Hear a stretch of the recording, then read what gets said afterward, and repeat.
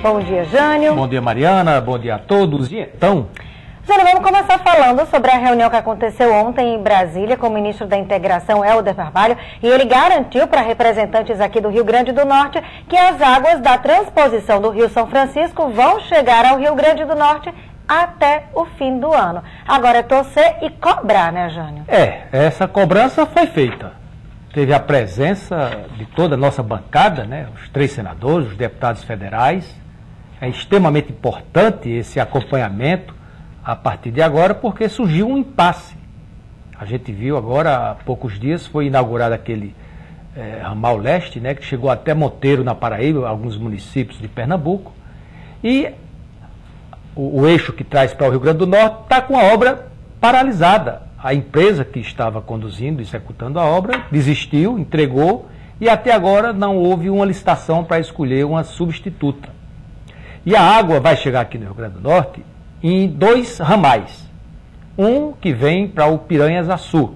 Esse, o ministro ontem disse que até dezembro deve chegar água, para ficar no final aqui, chegando à barragem Armando Ribeiro Gonçalves é muito importante. Mas é uma área que não é crítica. A barragem Armando Ribeiro Gonçalves mantém aí sempre é, é um, um, em suas reservas água suficiente para não gerar uma crise, um colapso, como a gente vê em outros setores, como por exemplo Pau dos Ferros. Esse outro setor do rio Apudi, que vai ser anunciada a obra ainda para fazer o projeto para no próximo ano, ele é muito mais importante, porque nesse momento, com essas chuvas todas, uh, o açude lá de Pau do Céu está com dificuldade. E aquela região, enquanto não chegar a água do São Francisco, vai ficar enfrentando dificuldades. Esse eixo que vai levar água para é, é, Pau dos Ferros até a Barra de Santa Cruz em Apudi, ele é extremamente importante. Daí é, a gente torcer para que esse encontro seja um encontro realmente efetivo, né? e que o ministro se comprometa, se comprometa que a, a bancada fique acompanhando e informando a população do Rio Grande do Norte.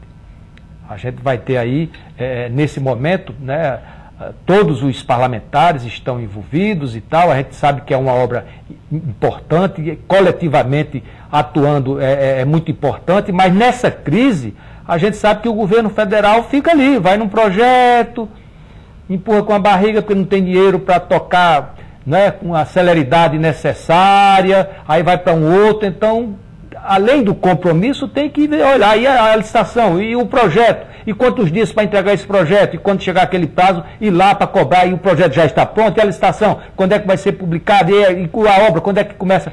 Porque se tudo der certo, é improvável que esse trecho de Pau dos Ferros seja concluído até o próximo ano porque demanda um tempo para se fazer o projeto, para se fazer a licitação, para assinar os contratos, para montar o canteiro de obras e para a própria execução do projeto. Mas se tudo funcionar é, da forma como a gente imagina que deve funcionar, é, não terá crise de água aqui no Rio Grande do Norte, porque a gente sabe que nesses últimos anos é foram feitas algumas adutoras, inclusive uma adutora de engate rato lá para levar água até aquela região lá do Alto Oeste.